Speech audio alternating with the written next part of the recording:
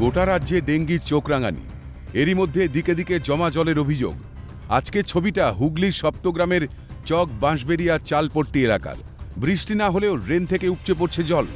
নোংরা আবর্জনায় ভরেছে নিকাশি নালা। বৃষ্টি হলে হাঁটাচলাও দায় হয়ে ওঠে। স্থানীয়দের অভিযোগ দীর্ঘ পাঁচ বছর ধরে সমস্ত উন্নয়ন থেকে বঞ্চিত তারা।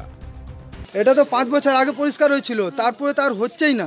ড্রেনগুলো পরিষ্কার হচ্ছে না পঞ্চায়েত কিছু ইন্টারেস্ট নিচ্ছে না এদিকে। হালকা ফালকা ওই কুড়ে ফুড়ে চলে যাচ্ছে অনেক দিন পরে পরে লোক পাঠানো হয়েছে দ্রুত সমস্যার সমাধান হবে দাবি তৃণমূল প্রধানের। পাঠিয়েছি তো লেবার তো পাঠিয়েছি মেম্বারকে ফোন করা হয়েছে। আমি সব জায়গায় আমি করাবো নাকি? দাঁড়িয়ে আমি তো পাঠিয়ে দিয়েছি মেম্বার এদিকে বিজেপির অভিযোগ সংস্কারের জন্য লোক পাঠানো হলেও বিজেপি পরিচালিত পঞ্চায়েত বলে কাজ নাকচ করে চলে যান কর্মীরা। প্রধান আসেনি চারটে লেবার দিয়েছিল ওটাও কিছু করতে পারেনি ওরা চলে গেছে। তাও ওইখানে ওর মধ্যে একটা লেবার বলছে কি এখানে তো বিজেপি জিতেছে কোনো কাজই হবে না। এরা এখানে কোনো কাজই করতে চায় না।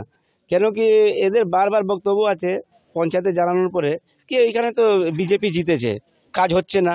আর এখনও কোনো কাজ হচ্ছে না পুরো জল জমে আছে নিকাশি ব্যবস্থার এত অপরিষ্কার কেন?